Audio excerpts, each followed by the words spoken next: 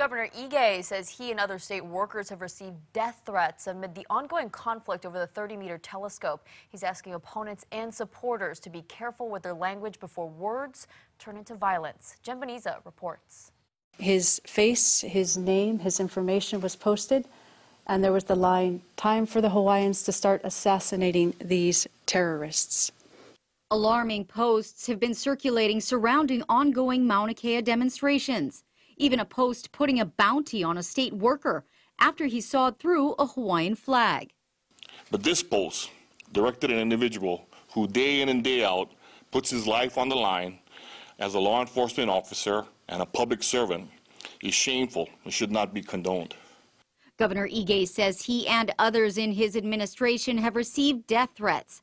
He says the hateful threats and cyberbullying need to stop. For those who claim to be protecting Hawaiian values, to resort to these tactics is disappointing, irresponsible, and very painful for me to see. There are concerns the hateful speech will eventually incite a violent reaction. Andre Perez, one of the protectors of Mauna Kea, says they agree with the governor. My message to the people is please refrain from violent language. Um, we condemn violent language. We condemn putting a bounty on people. We condemn putting out language that targets individuals in harmful ways.